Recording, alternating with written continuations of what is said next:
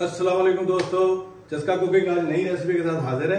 नई रेसिपी में हम आज बनाएँगे कड़ी पकौड़ा। आपको हम इसकी कमर्शियल रेसिपी देंगे। इसके लिए हमने सबसे पहले लिया ऑयल रेसिपी को गौर से देखते रहिएगा, ताकि आपकी कोई चीज़ मिस ना हो। इसमें छोटी सी गलती जो है, वो इसको ख़राब कर देती है। वो हम आपको साथ साथ बताएँगे। अब इसमें जाएगा प्याज। तकरीबन दो अदद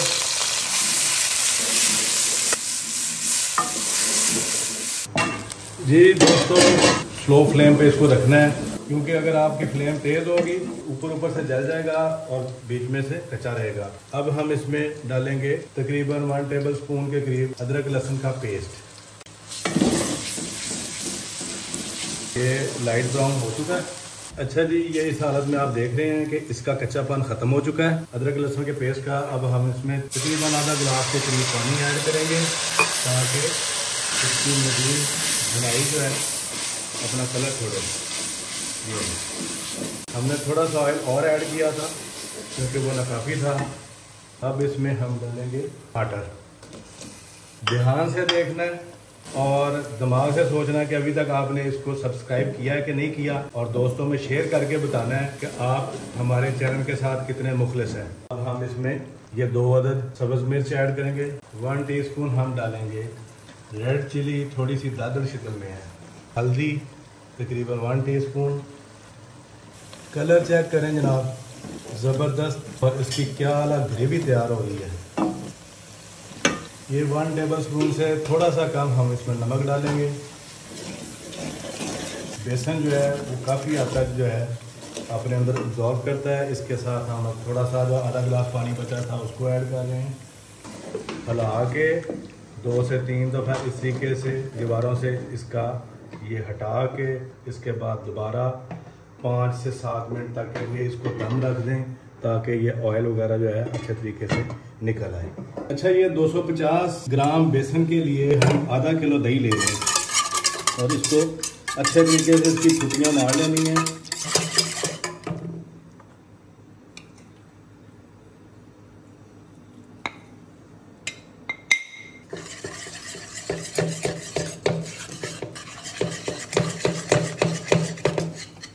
इसमें जाएगा, ये तकरीबन, ये देखें, एक लीटर के करीब पानी। इसके बाद इसकी, ये अच्छे तरीके से गुटलियाँ ख़त्म कर। ये बाकी पानी भी हमने डाल लिया, क्योंकि हमें इसमें थोड़ा सा कम लीजिए जी, बिस्मिल्लाह करते हैं इसमें ये देखें इस तरह की शक्ल में जब आ जाए तो ये जो बेसन का मेज़ा हमने बनाया हुआ है, इसको डालते जाएँगे और इसको हिलाते जाएँगे। इसको 10 मिनट तक के लिए इस तरीके से हिलाते रहें ताकि ये एक जान हो जाए और इसमें मीडियम फ्लेम पे इसको कर दें। इसको उबाला आने तक जो है, हम इस तरह थोड़ा सा हिलाते रहेंगे।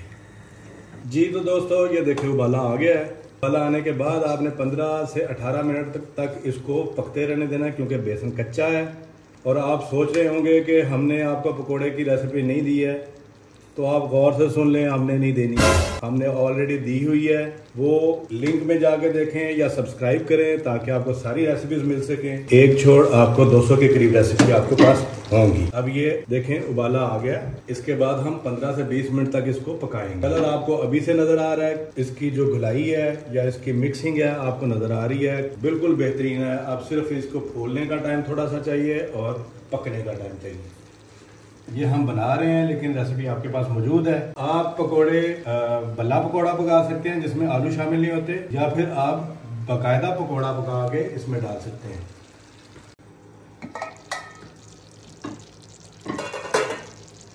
लीजिए दोस्तों कड़ी हमारी बिल्कुल रेडी है। ये देखें, हर चीज़ ऐसे एक जान हो गई है। ये देखें, इसका ऑयल अब हम फाइनली इसमें डालेंगे गरम मसाला। और गरम मसाले के लिए भी हम अपनी रेसिपी दे चुके हैं कि इसमें कौन कौन सी चीज़ें शामिल हैं। ये आठ से दस मसाले हैं जिसको हमने मिला के बनाया हुआ है, जो हर चीज़ में आपके इस्तेमाल हो जाते हैं। आप ज़रूर ज़रूर ज़रूर देखिएगा इसको। इसके बाद हम इसको हमने मिक्स कर लिया है। ये सिर्फ़ दो से तीन मिनट का इसको दम देंगे ताकि गरम मसाला अपनी खुशबू छोड़े। उसके बाद हम डिश आउट करेंगे और ये पकौड़ा शरीफ इसमें ऐड करेंगे। लीजिए ज़रूर ये कड़ी की बहुत आला रेसिपी तैयार है, इसकी थिकनेस और इसके अंदर हम अब ये तैयार शुदा पकौड़े, ये इसमें ऐड करेंगे। गार्निशिंग के लिए हमने धनिया बरीक मिर्च ये अब डाल दी। मज़ेदार और बेहतरीन रेसिपी कमर्शियल रेसिपी रेडी है। आप ज़रूर टेस्ट कीजिएगा और हमें कमेंट में लाजमी बताइएगा आपको ये रेसिपी कैसी लगी। नई रेसिपी के साथ दोबारा हाजिर होंगे। तब तक के लिए इजाज़त दीजिए। अल्लाह हाफिज़। अल्लाह निगेबान